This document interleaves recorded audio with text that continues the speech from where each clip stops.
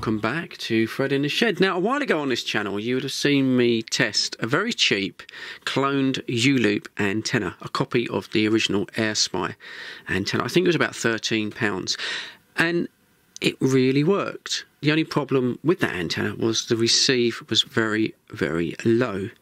So I thought I would get the active amplified version of that loop antenna in. And uh, yeah, here it is. So try and work out what this is called. I think it's called a H HFDY loop. The manufacturer, it's very indiscreet. I think it's uh, LZ1AQ or something like that. But it's basically an amplified version of the same loop. We don't get all that many instructions with it, but we do get a setup page here. Okay, so it appears there are some switch settings on the loop itself and it looks like you can have it in different formats. You can have a Mobius loop mode, electrostatic shield magnetic loop and a magnetic field loop mode. So we can try those out once we get it set up. And then we have a little amplifier and a uh, bias T section here and an input of 5 to 12 volts. So the idea of this antenna, it's basically, this is an indoor antenna and not everyone can put up a long wire have a has a long garden. Sometimes you're stuck with using an indoor antenna. Hopefully by using a loop you cut down on the amount of unwanted QRM the amount of noise that uh, you get. So we got a box full of tricks here. Um, I suppose that's a little carry case is it? That's tiny. Okay Right, this would be the bias T unit, which is a bit like a transforming amplifier, I think, which uh, comes its loop. So in here we have an RF and DC output, so I assume that goes to the antenna. A little uh, power socket there says it runs from 5 to 12 volts. I'll assume there is a power lead supplied and an LED indicator and then an RF socket which will go to the receiver, be it a uh, small SDR radio or a dongle to your PC. These generally work better, I think, with uh, SDR than, but you could use them with a normal shortwave receiver. We have a, quite a decent length here of uh, coax cable. I suppose this is what's this 174 or something. So a quick look. Yeah, 174. Yeah, so decent length of that. We then have another little patch lead. So I assume that's for uh, attaching the little bias T there to the receiver. Have a couple of sticky pads with nuts on because as I say this is an indoor antenna so it's best if you stick it up to a window that's facing outdoors use it in that respect. Oh, that's quite nice. So we have a mono a mono jack there to a little SMA quite useful if you're just using a basic uh, standard sort of uh, shortwave radio. That looks quite nicely made. Then we have the antenna loop elements itself. This is this, is, this looks exactly the same as on the non-active loop, and it worked quite well. Some, sometimes these loops are a bit hit or miss. I, you know, sometimes they work, sometimes they don't. But the the uh, the non-amplified one worked quite well. So hope this will be the same. And then we have the little uh, PCBs here, which of course makes up the loop. So we have the bottom section. I assume this is yeah. This so this is the amplifier, and that's the maker there um, LZ1AQ HDY HD, HFDY very uh, discreet.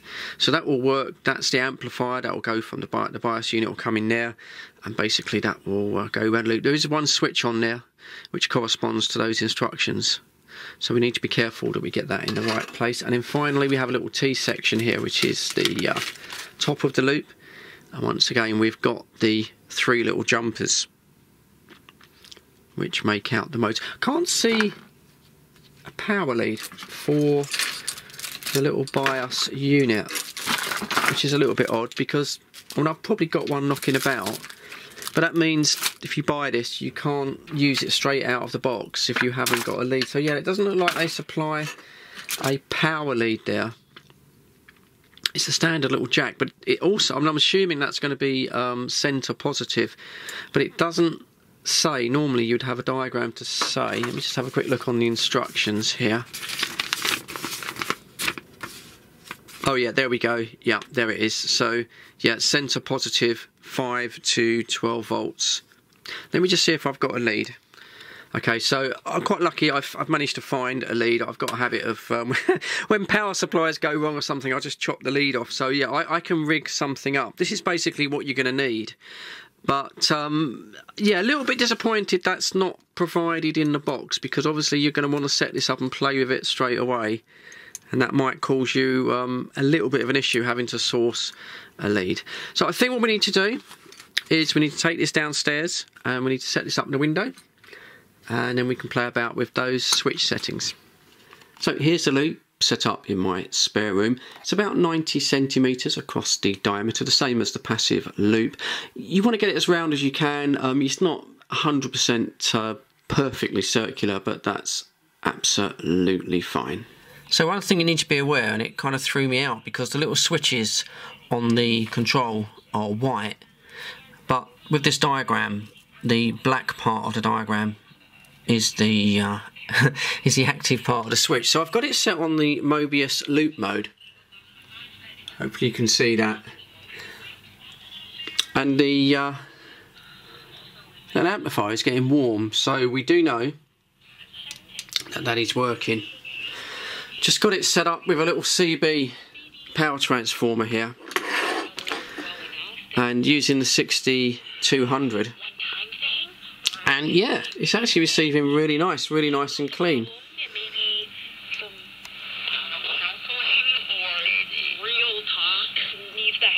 问题的解答，明确财务造假犯罪案件事实认定，法律适用。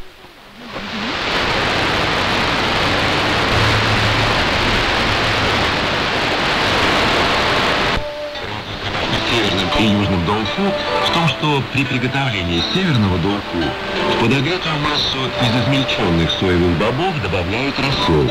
В результате получается очень плотный долфу, в котором мало жидкости. В южном рецепте используют гипс. У этого долфу белоснежный цвет. To switch now to the electrostatic shield magnetic loop mode. Can't see a lot of difference on the Zygu here, to be perfectly honest. Let me just get comfortable. Zoom in a little bit. game. A video game needs a computer or a console, so it's obvious that when you're using it that you're... Uh, Might just be a little bit of um, dynamics either side of the signal there. 64% of people living together said they do and the signal strength might just be slightly higher. So this is the uh, magnetic field loop setting. I think I know this one. Let, And I think this is probably working the most sensitive. It's bringing in the most signal. As women, I think we're brought up, indoctrinated in, unfortunately, to very easily feel guilty about things. So I'm probably going to stick with that for now. Enough, and okay, Anyway, let's um, connect this up to the camera, get it nice and steady, and we'll have a little flick around, see what we get. 天台邮政在崂山区徐水揽头部从事投递工作。那时候孩子小之前在家带孩子，当时也是觉得这是一份挺有意义的工作，然后还没有电视啊。我们主要是以送报纸投递为主，工作时间。 When these things begin to come to pass, you look up and you lift up your head and you rejoice. For your redemption draweth nigh. So uh, we double checked the call, so something is wrong then. Uh, 73. This is uh, your Birmingham here, flag 9 plus 20 dB. Name's Paul, Papa Alpha Uniform Lima. Over, over. Yeah, yeah, that's, that's a good signal, mate, yeah. Uh, sorry, uh, Paul, whereabouts are you? Uh, locations is City of Derry, Delta Echo, Radio, Radio Yankee. Uh, Derry City, uh, Chris, over.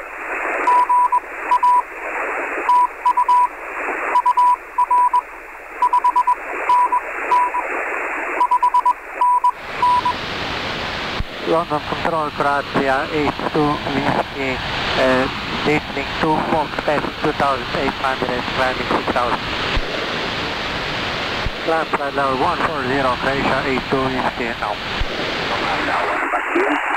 Yeah, good stuff, good stuff. You're certainly getting out well. I'll stick you a spot on the cluster and uh, we'll leave it there. But all the best. Enjoy the activation tonight. Das war eine tolle, tolle Geschichte und da kann ich stundenlanges davon erzählen. Und dann hat uns die EU verboten, ist draufgekommen, dann nicht mehr. Aber ich halte immer, wenn, wenn, weißt du, wenn ich jemanden kenne, egal was für Nationalität das ist und so weiter, wenn ich jemanden kenne, sympathisch, mache ich immer Freundschaft. Well into 20 kilometers south of Leicester and you've got my name there. Uh, have good time, uh, Steve. Uh,